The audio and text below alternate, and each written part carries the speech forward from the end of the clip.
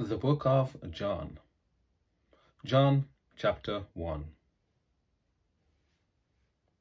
In the beginning was the Word, and the Word was with God, and the Word was God. He was in the beginning with God. All things came into being through him, and without him not one thing came into being. What has come into being in him was life, and the life was the light of all people. The light shines in the darkness, and the darkness did not overcome it. There was a man sent from God whose name was John. He came as a witness to testify to the light, so that all might believe through him. He himself was not the light, but he came to testify to the light. The true light, which enlightens everyone, was coming into the world. He was in the world, and the world came into being through him, yet the world did not know him. He came to what was his own, and his own people did not accept him. But to all who received him, who believed in his name, he gave power to become children of God, who were born not of blood, or of the will of the flesh, or of the will of man, but of God. And the Word became flesh and lived among us. And we have seen his glory, the glory as of a Father's only Son, full of grace and truth. John testified to him and cried out, This was he of whom I said, He who comes after me ranks ahead of me because he was before me. From his fullness we have all received grace upon grace. The law indeed was given through Moses, Grace and truth came through Jesus Christ. No one has ever seen God. It is God, the only Son, who is close to the Father's heart, who has made him known. This is the testimony given by John when the Jews sent the priests and Levites from Jerusalem to ask him, Who are you? He confessed and did not deny it, but confessed, I am not the Messiah. And they asked him, What then? Are you Elijah? He said, I am not. Are you the prophet? He answered, No. Then they said to him, Who are you? Let us have an answer for those who sent us. What do you say about yourself? He said, I am the voice of one crying out in the wilderness, Make straight the way of the Lord as the prophet Isaiah said. Now they had been sent from the Pharisees. They asked him, Why then are you baptizing if you are neither the Messiah, nor Elijah, nor the prophet? John answered them, I baptize with water. Among you stands one whom you do not know, the one who was coming after me. I am not worthy to untie the thong of his sandals. This took place in Bethany across the Jordan where John was baptizing. The next day he saw Jesus coming toward him and declared, Here is the Lamb of God who takes away the sin of the world. This is he of whom I said, After me comes a man who ranks ahead of me because he was before me. I myself did not know him, but I came baptizing with water for this reason, that he might be revealed to Israel. And John testified, I saw the Spirit descending from heaven like a dove, and it remained on him.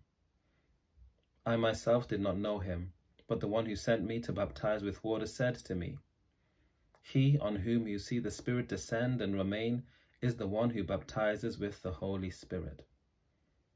And I myself have seen and testified that this is the Son of God. The next day, John again was standing with two of his disciples, and as he watched Jesus walk by, he exclaimed, Look, here is the Lamb of God. The two disciples heard him saying this, and they followed Jesus. When Jesus turned and saw them following, he said to them, What are you looking for? They said to him, Rabbi, which translated means teacher. Where are you staying? He said to them, Come and see. They came and saw where he was staying, and they remained with him that day. It was about four o'clock in the afternoon. One of the two who heard John speak and followed him was Andrew, Simon Peter's brother. He first found his brother Simon and said to him, We have found the Messiah, which is translated anointed. He brought Simon to Jesus, who looked at him and said, You are Simon, son of John. You are to be called Cephas, which is translated Peter. The next day, Jesus decided to go to Galilee. He found Philip and said to him, Follow me. Now Philip was from Bethsaida, the city of Andrew and Peter. Philip found Nathanael and said to him, We have found him about whom Moses in the law and also the prophets wrote, Jesus, son of Joseph from Nazareth. Nathanael said to him, Can anything good come out of Nazareth? Philip said to him, Come and see. When Jesus saw Nathanael coming toward him, he said to him, here is truly an Israelite in whom there is no deceit. Nathanael asked him, Where did you get to know me? Jesus answered, I saw you under the fig tree before Philip called you. And Nathanael replied, Rabbi, you are the Son of God, you are the King of Israel. Jesus answered, Do you believe because I told you that I saw you under the fig tree? You will see greater things than these. And he said to him, Very truly I tell you, you will see heaven opened and the angels of God ascending and descending upon the Son of Man. John chapter 2 On the third day, there was a wedding in Cana of Galilee, and the mother of Jesus was there. Jesus and his disciples had also been invited to the wedding. When the wine gave out, the mother of Jesus said to him, They have no wine. And Jesus said to her, Woman, what concern is that to you and to me? My hour has not yet come. His mother said to the servants, Do whatever he tells you. Now standing there were six stone water jars for the Jewish rites of purification, each holding twenty or thirty gallons. Jesus said to them, Fill the jars with water and they filled them up to the brim. He said to them, Now draw some out and take it to the chief steward. So they took it.